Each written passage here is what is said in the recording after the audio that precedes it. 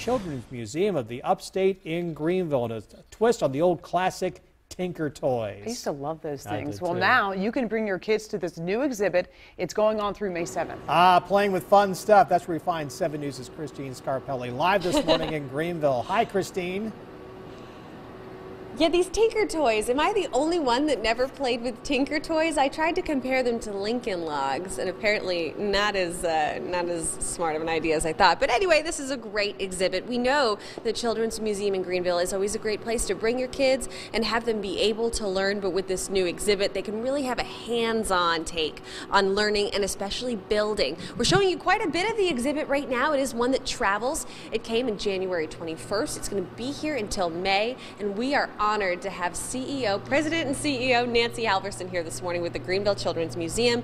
You, far more successful than me in building this Tinkertoy toy right now, but explain to me maybe just a little bit about how this one works. It says energize at the top. What does that mean? Absolutely. So this whole exhibit is about renewable energy, but we're oh. doing it all by playing with Tinker Toys. I love it. Pretty cool. Yes. So this particular opportunity allows you to take the Tinkertoys and build something that actually works on wind power. Okay, so that's wind coming out of that gray um, kind of tube there. So we've got a wind tunnel going on, and I've put together my structure. That is and amazing. voila! The This is tunnel. mine. How sad is this? it did not. It did not go anywhere. In fact, it just died, just like This.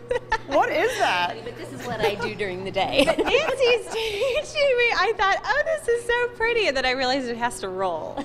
Nancy, Okay. My tutor, thank you so much. You guys would school me on this. I am failing, but I hope to get better by the end of this segment, guys. Back to you. Yeah, we would love to see more. That's right. But besides, Lincoln logs don't move once you build them. Would you? Exactly. That's what's fun. so much fun about Tinker Well, some of them do. They fall. yeah, if you throw them, maybe. yeah, exactly. Yeah. Thanks, Christine. A lot of wind. All right. Emily's here talking about our live drive traffic.